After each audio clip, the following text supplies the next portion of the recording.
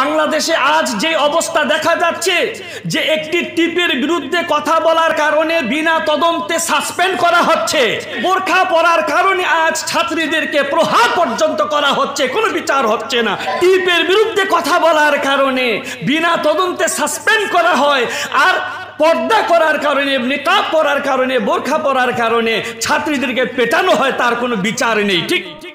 সত্যের সন্ধানে সব সময় মাসলাক টিভি الحمد لله وكفى وسلام على عباد الذين اصطفى أما بعد فأعوذ بالله من الشيطان الرجيم بسم الله الرحمن الرحيم يا أيها الذين آمنوا كتب عليكم الصيام كما كتب على الذين من قبلكم لعلكم تتقون صدق الله المولانا العظيم وصدق رسوله النبي الكريم ونحن على ذلك من الشاهدين والشاكرين والحمد لله رب العالمين তাহরিকে খাতমে নবু সাল্লাম বাংলাদেশ কর্তৃক আয়োজিত জাতীয় ইফতার মাহফিলের সম্মানিত আমির ও আজকের ইফতার মাহফিলের সম্মানিত সভাপতি, আল্লামা ডক্টর সৈয়দ মুফতি মোহাম্মদ এনায়তুল্লা আব্বাসী ও সিদ্দিকী পীর সাহাব জোনপুরি, দিগার ওলামা একরাম, অতিথিবৃন্দ, রোজাদার ভাই ও বন্ধুগণ, সকলকে জানায় আন্তরিক শুভেচ্ছা ও মোবারক। সমস্ত প্রশংসা সেই রাব্বে করিমের জন্য, যিনি অত্যন্ত দয়া করে, মেহরবানি করে তার গোলাম বান্দাদেরকে এই জাতীয় ইফতার মাহফিলে অংশগ্রহণ করার সুবর্ণ সুযোগ দান করেছেন। সেজন্য আসুন আমরা কালিমাত্র শুকর আদায় করে নিচ্ছি, আলহামদুলিল্লাহ। অসংখ্য ও অগণিত দরুদ ও সালাম বিশ্বসভার সভাপতি, সমস্ত নবী ও রসুলগণের মাথার মুকুট। আঁকা এ নামদার সরবরে কায়নাত খাজা এ মাহশার নূরে মুজাসম নবীল আম্বিয়া মুহাম্মদ ও রসুল্লাহ আল আরবি সাল্লাহ আলিহি ওয়াসাল্লামের জন্য। আল্লাহ পাক আজ থেকে দেড় হাজার বছর পূর্বে যাকে প্রেরণ করার মাধ্যমে নবুয়তের ধারাবাহিকতা চিরতরে বন্ধ করে দিয়েছেন। অবশ্যই যার পরে আজ অবধি কোনো প্রকারই নবী কিংবা রসুল, পায়গাম্বার আসে নাই। অবশ্যই এখনও নাই, অবশ্যই কেয়ামত পর্যন্ত আসবে না। সম্মানিত সুধী মণ্ডলী আমি আপনাদের সম্মুখে সুরাতুল বাকরা একশত তিরাশি নম্বর আয়াতুল কারিমা থেকে তিলাবাত করেছি, যেই আয়াতুল কারিমাতে আল্লাহ তাবারাক ওয়া একটি মাস ব্যাপী সিয়াম সাধনাকে ফরজ করেছেন এবং এই আয়াতুল কারিমাতেই তিনি সেই সিয়াম সাধনার অর্জন কি, প্রাপ্তি কি, সেটাও তিনি তুলে ধরেছেন। আল্লাহ বলেছেন, হে মমিন মুসল, হে মমিনগণ, তোমাদের উপরে মাহে রমজানের রোজাকে ফরজ করা হয়েছে, যেমনিভাবে তোমাদের পূর্ববর্তী গণদের উপরেও ফরজ করা হয়েছিল।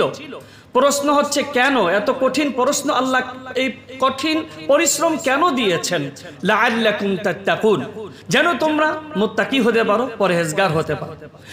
একদিন দুই দিন নয়, কতটা কষ্টকর এই সিয়াম সাধনা করা। সে সুবহে সাদিক থেকে নিয়ে সূর্যাস্ত পর্যন্ত কোনো ব্যক্তি যদি ক্ষুদায় হাঁসফাঁস করে, একটি দানা মুখে রাখার সুযোগ নেই। পানির পিপাসায় যদি তৃষ্ণা যদি কলিজাটা কাঠ হয়ে যায়, এক ফোঁটা পানীয় জিব্বায় রাখার কোনো সুযোগ নেই। আর এত পরিশ্রম আল্লাহ একদিন দুই দিন নয়, একটি মাস দিয়েছেন। কেন? তিনি তো তার বান্দাদেরকে খুব পছন্দ করেন, পেয়ার করেন।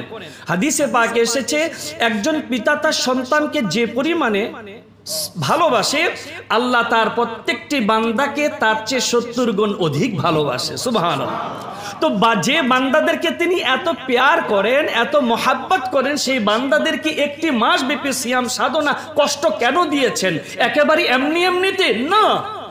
সে সিয়াম, সাধনের প্রাপ্তি কি? তার অর্জন কি? আল্লাহ বলেছেন লা আল্লাকুম তাতাকুন আল্লাকুম তাজতানিবুন মিনাল কাবাইরি ওয়াস সাগাইর ওয়া মিন কুল্লি আমরিন মা নাহাল্লাহু ওয়া রাসূলুহু সাল্লাল্লাহু আলাইহি সাল্লাম একটি মাস ব্যাপী সিয়াম সাধনা এই জন্য করবে যেন তোমরা আল্লাহকে ভয় করে অন্যায়, পাপাচার, সগীরা, কবিরা, গুনাহ ছেড়ে দিয়ে তোমরা মুত্তাকি হতে পারো, পরহেজগার হতে পারো। এটাই হচ্ছে মাস ব্যাপী সিয়াম সাধনার প্রাপ্য, প্রাপ্তি কিংবা অর্জন। এখন আমাদের দেখার বিষয় হচ্ছে, আমরা একটি মাস ব্যাপী সিয়াম সাধনা করার দ্বারা সেই অর্জনটা করতে পারছি কিনা, প্রাপ্তি হচ্ছে কিনা, আমরা কি নিজেদেরকে অন্যায় পাপাচার থেকে বাঁচাতে পেরেছি কিনা?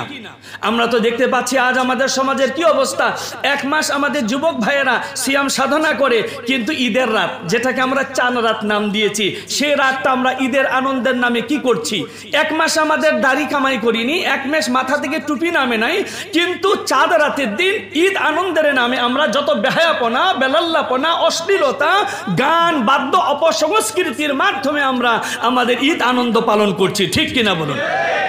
যেখানে আমাদেরকে মোত্তাকে পরহেজগার হওয়ার কথা ছিল, অপসংস্কৃতিকে লাঠি মারার কথা ছিল, সেখানে আমরাই এক মাস রোজা রাখার পরে আমরা অপসংস্কৃতিকে লালন পালন করছি। ঠিক কিনা বলুন? অথচ বাংলাদেশে আজ যে অবস্থা দেখা যাচ্ছে, যে একটি টিপের বিরুদ্ধে কথা বলার কারণে বিনা তদন্তে সাসপেন্ড করা হচ্ছে। পক্ষান্তরে যেখানে ইসলামী আদর্শ আল্লাহর হুকুম, নির্দেশ, নারীরা যখন তাদের ঘর থেকে বের হবে, নারীরা যখন পরপুরুষের সামনে যাবে, তখন তারা পর্দার মাধ্যমে বোরখা পরে তারপরে তারা বের হবে। ঠিক কিনা বলুন? আর সেই বোরখা পরার কারণে আজ ছাত্রীদেরকে প্রহার পর্যন্ত করা হচ্ছে, কোনো বিচার হচ্ছে না। ঠিক কিনা বলুন? টিপের বিরুদ্ধে কথা বলার কারণে, বিনা তদন্তে সাসপেন্ড করা হয়, আর পর্দা করার কারণে নিকাব পরার কারণে, বোরখা পরার কারণে ছাত্রীদেরকে পেটানো হয়, তার কোনো বিচার নেই। ঠিক কিনা বলুন? এটা আর আমরা এই সংখ্যাগরিষ্ঠ মুসলমানের দেশে কত বরদাস্ত করব, তা তো বরদাস্ত করা যায় না। ঠিক কিনা বলুন? তাহলে আমরা তো সেই দিকে কিছু করতে পারছি না। কারণ ভারতে দেখতে পাবেন সংখ্যা গরিষ্ঠ যারা, তাদেরই কথা মানা হয় সংখ্যালঘুদেরটা না। কিন্তু আজ বাংলাদেশে সংখ্যালঘুকে বেশি প্রাধান্য দেওয়া হয়। সংখ্যাগরিষ্ঠ মুসলমান তাদের দাবি আদায় করতে পারে না। ঠিক কিনা বলুন? সেটা আমরা পারি না, আমাদের ব্যর্থতা কিন্তু আমরা ব্যক্তিগতভাবে অপসংস্কৃতিকে লাথি মারতে পারি, সেটা আমাদের দ্বারা সম্ভব। ঠিক কিনা বলুন? তাহলে আমরা এই ঈদ আনন্দের নামে চাঁদ রাতে বেহাল বেহায়াপনা বেলাল্লাপনা অশ্লীলতা অপসংস্কৃতি মোটেও আমরা পালন করতে পারি না জায়গা দিতে পারি না আমরা ব্যক্তিগতভাবে এটা চেষ্টা করব আল্লাহ পাক যেন আমাদের কবুল করে নেন মঞ্জুর করে নেন বলুন আল্লাহ আমিন وما توفيقي إلا بالله عليه توكلت وإليه أنيب السلام عليكم ورحمة الله تعالى وبركاته